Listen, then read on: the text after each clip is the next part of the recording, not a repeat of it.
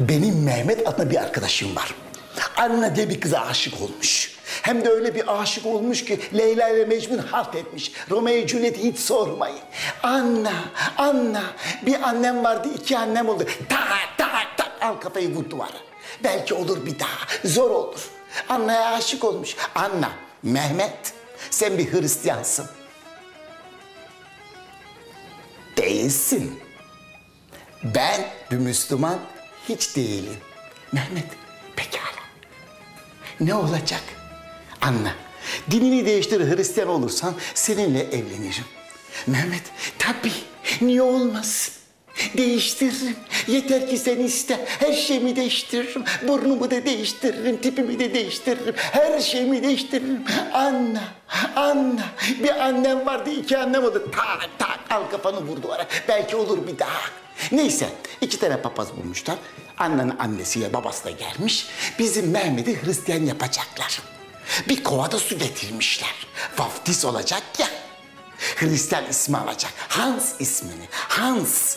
Bizim Mehmet Hans olacak. Papaz iri yarı baba yiğit kollarında kılları şurada. Kılları çıkmış, gözleri fetteşmiş. Şöyle duruyor. Ina, ina, ina. Mehmet'in tak ensesinden bir yapıştırmış. Hemen almış kovanın içine.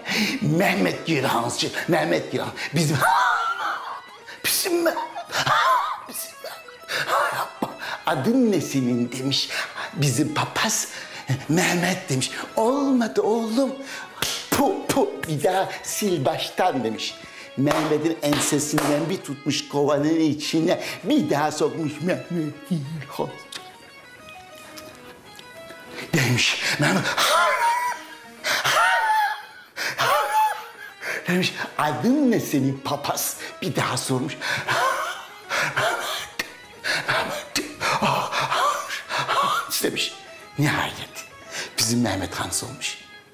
Annenin annesi mutlu. Babası mutlu. Papaz mutlu. Bir Müslümanı Hristiyan yapmanın mutluluğunu yaşıyor. Bizim orada anladı şöyle. Nihayet benim Mehmet'im Hans oldu. Aynı dindeniz. Hemen ertesi gün evlenmeleri için nişan yüzüğü almaları gerekiyor. Mehmet hemen koşuyor iki tane yüzük alarak tak eve gidiyor. Anla yüzükleri aldın. Hemen nişanı yapalım evlenelim. Demiş. Anla bir bakmış ki gümüş yüzükler. Hans, Hans ben sana altın yüzük al demedim mi? Niye gümüş yüzük aldın? Hans "E, sen bana yüzük al, al dedin ama ben de bunu aldım. Pa- param yetmedi de ondan. Olmaz Hans olmaz. Bize altın yüzük olması gerekiyor. Altın yüzük. Hans akıllı zeka. Anne oradan bana bir bardak su getirsene bir zahmet lütfen. Anne oradan bir bardak suyu getirmiş. Hans eline bardağı ve eline yüzüğü almış. Bir elinde bardak, bir elinde yüzük. Hans elindeki yüzüğü bardağın içine koyarak böyle gümüş giyir altıncık, gümüş giyir altıncık, gümüş giyir altıncık. Al sana bir altın demiş. Anne. O ne?